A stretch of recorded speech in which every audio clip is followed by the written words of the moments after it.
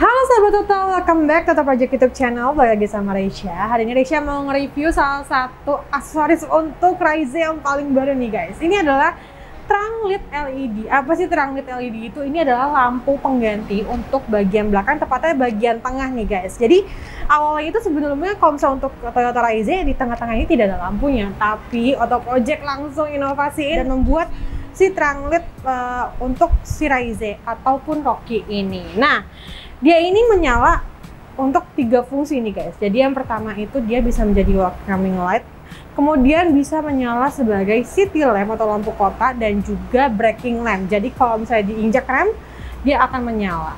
Nanti akan bisa demonstrasikan dan ini produk untuk terang lit, uh, lit LED ini sudah plug and play jadi tanpa memotong kabel sudah soket ke soket jadi aman banget. Nah, dia ini desainnya juga stylish banget yang pastinya lampu terang LED ini bakal bikin tampilan Raize ataupun Rocky kalian jadi makin mewah. Langsung aja tanpa lama lagi kita langsung demonstrasi si terang LED di Raize dan kita lihat gimana sih menyalanya. Let's go! Nah, pertama Raize mau mendemonstrasikan ini terang LED-nya sebagai welcoming light. Jadi kalau misalnya kalian nyalain lampu, dia langsung menyala. Langsung aja kita praktekin.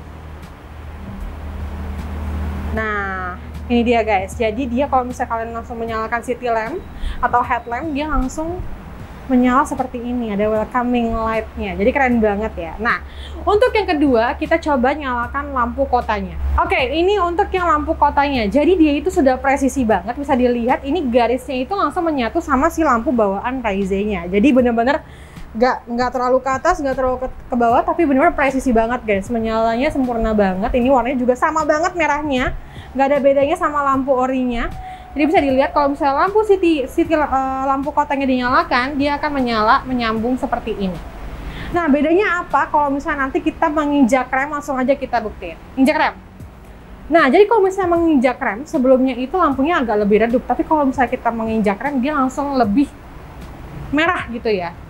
Nah, coba lagi Jar. Ini sebelumnya, kalau kita injek rem, dia akan merahnya lebih menyala. Jadi itu tiga fungsinya, si welcoming light, kemudian city lamp, dan juga braking lamp. Jadi benar-benar keren banget. Yang pastinya kalau misalnya ini nyala di saat malam hari, benar-benar bikin Raize atau Rocky kalian tuh makin mewah tepatnya. Dan juga pastinya seperti yang tadi bilang tadi, ini pemasangannya sudah aman banget, sudah soket-soket tanpa motong-motong kabel.